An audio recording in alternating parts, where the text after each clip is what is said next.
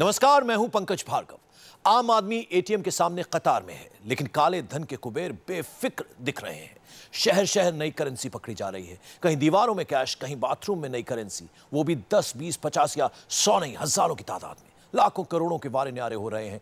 आज हम करेंसी के क्रिमिनल की दस ऐसी कहानियाँ दिखाने जा रहे हैं, जिनके पास इतने नोट मिले हैं कि देखकर आँखें फटी की फटी रह जाएँगी।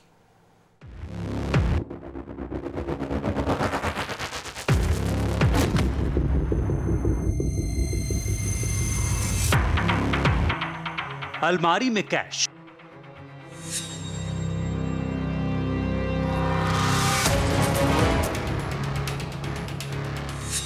कार्टन में कैश सूटकेस में कैश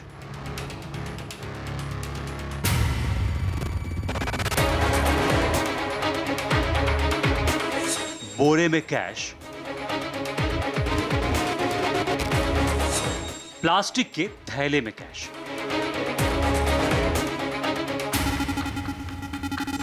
करेंसी इतनी कि गिनते गिनते पूरी रात गुजर गई। दो दो हज़ार की गुलाबी गुलाबी गट्टियाँ। एक हज़ार के नोटों से भरा सूटकेस। सौ के नोटों के इतने बंडल कि गिनती एक बार में पूरी ही नहीं हो सकती। जरा सोचिए, पूरा हिंदुस्तान ढाई ढाई हज़ार रुपयों के लिए एटीएम की लाइन में खड़ा है। और एक छोटे से दफ्तर में इतनी करेंसी मिली कि गिनते गिनते पूरी रात गुजर गई। ये कहानी सिर्फ़ एक शहर की नहीं है, देश भर से आई है ऐसी ही चौंकाने वाली तस्वीरें। नोटबंदी को ठेंगा दिखाकर करेंसी के क्रिमिनल किस कदर अपने काले धन को नए नोटों में बदल रहे हैं इस गुलाबी गुनाह का सबसे बड़ा सबूत है, ये तस्वीरें शहर शहर पकड़े गए गुलाबी करेंसी के दस बड़े क्राइम की कहानियाँ दिखाएँगे, लेकिन सबसे पहले बात दिल्ली की। जगह first floor R 89 greater Kailash, Delhi. Delhi के बेहद पौश इलाके में बनी इस पाँच मंजिला इमारत में जब क्राइम ब्रांच और इनकम टैक्स की ज्वाइंट टीम दाखिल हुई तो अंदाज़ा भी नहीं था कि इस व्हाइट हाउस में एक कमरा ऐसा भी है जहाँ सिर्फ़ नोट ही नोट है। बिल्डिंग की पहली मंजिल पर दाखिल होते ही वो रूम मिल गया, जहाँ ठूस ठूस कर रखे गए नोटों का जखीरा था। छापेमारी के दौरान करीब तेरह करोड़ रुपए बरामद हुए। इनमें से सात करोड़ रुपए एक हज़ार के नोटों की शक्ल में थे। तीन करोड़ रुपए के सौ सौ के नोट मिले। चौंकाने वाली बात यह थी कि दो करोड़ साठ लाख रुपए के दो हज़ार के नोट भी मिले। कमरे के अंदर सिर्फ़ करेंसी ही नहीं मिली। नोटों के बंडल के साथ करेंसी गिनने वाली दो दो मशीनें भी थी।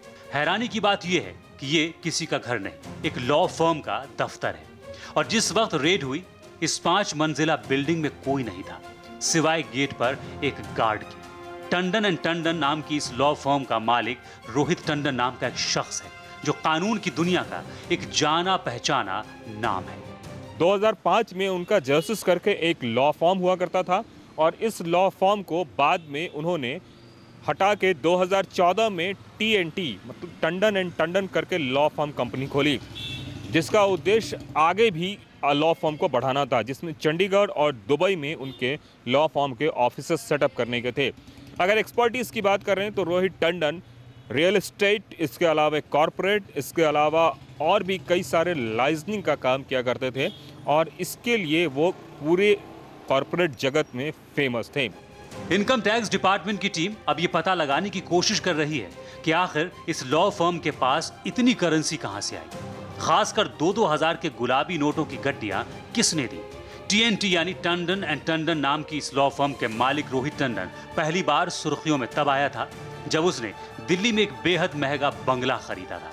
खबरें आई कि रोहित ने एसआर ग्रुप के मालिक रुइया फैमिली से जोरबाग इलाके में घर की डील की। यह बंगला खरीदते ही रोहित इनकम टैक्स डिपार्टमेंट की नज़र में आ गया। दो महीने पहले भी रोहित के ठिकानों पर इनकम टैक्स डिपार्टमेंट की रेड हुई थी। तब टंडन ने 125 करोड़ रुपए की अघोषित आय का खुलासा किया था। रोहित के पुराने इतिहास को देखते हुए दिल्ली पुलिस की क्राइम ब्रांच को शक था कि नोटबंदी की आड़ में कोई ना कोई गड़बड़ ज़रूर है।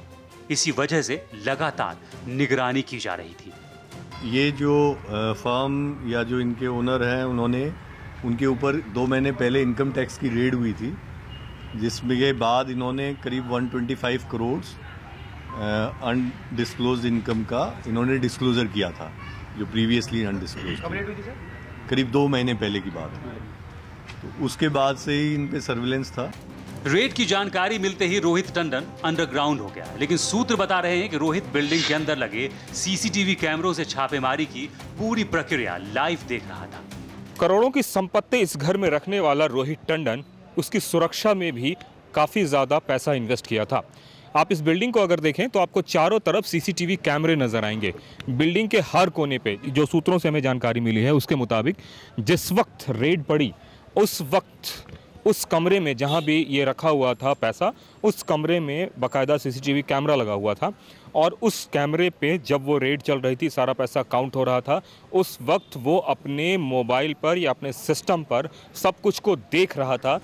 ग्रेटर कैलाश की इस बिल्डिंग से जो करेंसी मिली, उसे गिनने के लिए इनकम टैक्स डिपार्टमेंट को मशीनें मंगवानी पड़ गई। दूसरी तरफ़ इनकम टैक्स की टीम उन लोगों की तलाश कर रही है, जिन्होंने पुरानी रद्दी हो चुकी करेंसी के बदले रोहित को नई गुलाबी गड्डियाँ दिलाने में मदद की। सौरभ श्रीवास्तव के साथ कुमार कुंदन, इंडिया टीवी, दिल्ली। तो राजधानी दिल्ली की तस्वीर आपने देखी। दूसरे शहरों में भी ब्लैक मनी की तलाश में ताबड़तोड़ छापेमारी चल रही है, लेकिन काली कमाई तो दूर। 2000 के इतने नए नोट मिलते हैं कि इनकम टैक्स के अफसर भी हैरान रह जाते हैं। सवाल यह है कि आखिर कहाँ से मिल रही है इतनी नई करेंसी? जरा करेंसी के इन क्रिमिनल्स की कुछ और कहानियाँ देखिए।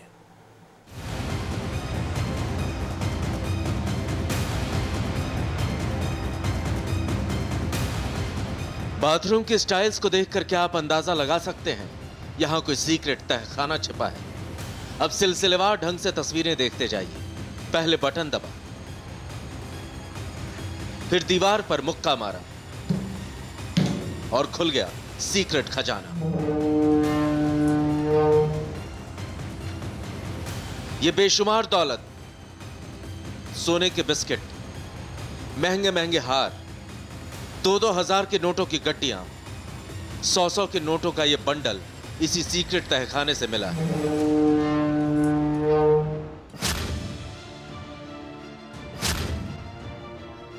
इनकम टैक्स के ऑफिसर इस बाथरूम में घुसे तो पहली बार में कुछ समझ में नहीं आया। लेकिन अफसरों की पारखी नज़र से यह होल बच नहीं पाया। अधिकारियों ने इस सुराख में एक स्क्रू ड्राइवर डाला। स्क्रू ड्राइवर से दबाते ही तहखाना खुल गया।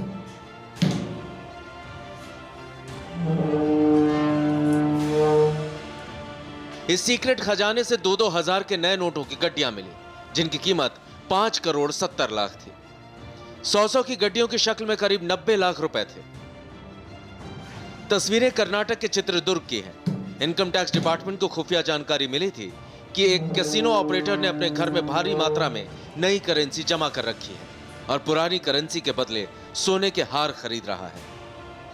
इसी इनपुट के बाद गोवा और कर्नाटक से आई एक ज्वाइंट टीम ने चित्रदुर्ग ज़िले में छापा मारा। फ़िलहाल इनकम टैक्स डिपार्टमेंट की टीमें करेंसी ऑपरेटर का पूरा इतिहास खंगाल रही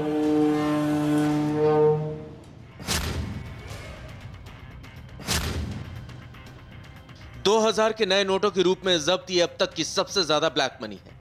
हर डिब्बे में दो करोड़ रुपए हैं। कुल बारह कार्टन है, यानी चौबीस करोड़ रुपए। तस्वीरें तमिलनाडु के वेल्लोर ज़िले की हैं। कार शेखर रेड्डी नाम के उसी कारोबारी की बताई जा रही है, जिसके ठिकानों पर तीन दिन से लगातार छापेमारी चल रही है। करेंसी के इस क्रिमिनल के ठिकानों से इनकम टैक्स डिपार्टमेंट ने अब तक 130 करोड़ रुपए बरामद किए हैं। सबसे चौंकाने वाली बात यह है कि शेखर और उसके सहयोगियों के पास से अब तक 34 करोड़ की नई करेंसी मिली है और अब तक 177 किलो सोना भी जब्त हुआ है।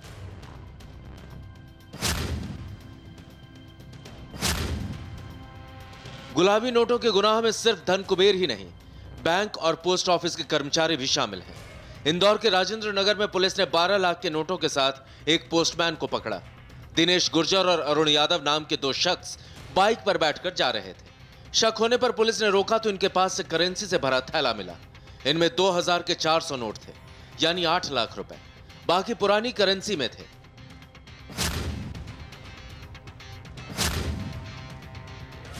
मुंबई में इस इनोवा कार में पकड़ी गई पिचासी लाख की करेंसी। इनमें तिहत्तर लाख रुपए के 2000 के नए नोट थे। 12 लाख रुपए सौ सौ के नोटों की शक्ल में थे। हैरानी की बात यह है कि लोगों को 2000 के नए नोटों के दर्शन नहीं हो पा रहे और करेंसी के इन क्रिमिनल्स को तिहत्तर लाख के 2000 के नए नए नोट मिल गए।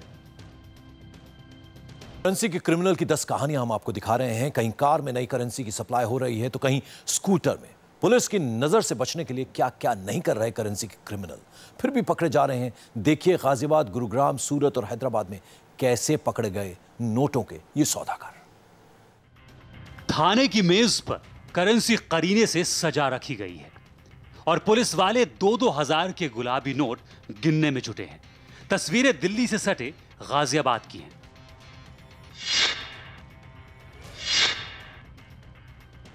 गाजियाबाद के कौशाम्बी से पुलिस ने एक कार से 28 लाख पचास हज़ार की करेंसी पकड़ी। इनमें से 14 लाख चौरासी हज़ार की रकम 2000 के नए नए नोटों में मिली। बाकी 100 सौ की और 50 50 की गड्डियाँ मिली।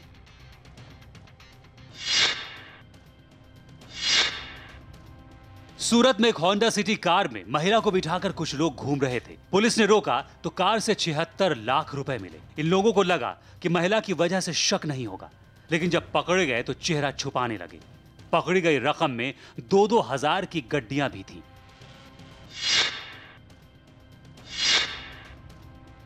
दिल्ली से सटे गुरुग्राम की इन तस्वीरों को देखकर कहना मुश्किल है कि देश में नोटों की किल्लत है। 2000 के इतने नोट सिर्फ़ एक स्कूटर से मिले हैं। नए नोटों की सप्लाई किस तरह से काले धन के कुबेरों तक पहुँच रही है, ये अब जग ज़ाहिर हो रहा है।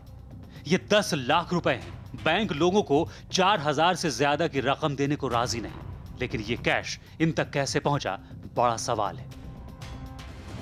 ये नोट तब पकड़े गए जब गुरुग्राम पुलिस की क्राइम ब्रांच सेक्टर उनतालीस के पास चेकिंग कर रही थी।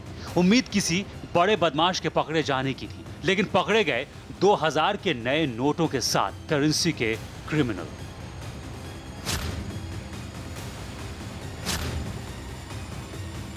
पुणे में बीजेपी के पूर्व पार्षद उज्जवल केशकर की इनोवा कार से 10 लाख रुपए बरामद किए गए। ये रकम 500 और हज़ार के पुराने नोट की शक्ल में थी।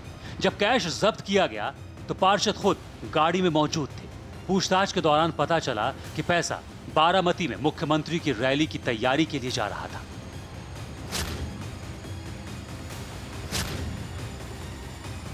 हैदराबाद पुलिस ने उनतीस लाख छिहत्तर हज़ार रुपए की करेंसी के साथ तीन लोगों को गिरफ़्तार किया।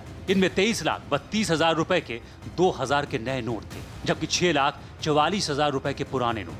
पूछताछ के दौरान खुलासा हुआ कि ये लोग पंद्रह फ़ीसदी कमीशन लेकर पुराने नोट के बदले नए नोट दे रहे थे। सैयदाबाद इलाके में ये तीनों किसी डील के चक्कर में घूम रहे थे, तभी पुलिस ने पकड़ लिया। गाजियाबाद से संजय। गुरुग्राम से सुनील और पुणे से अजय कामले के साथ संजय तिवारी, इंडिया टीवी, हैदराबाद।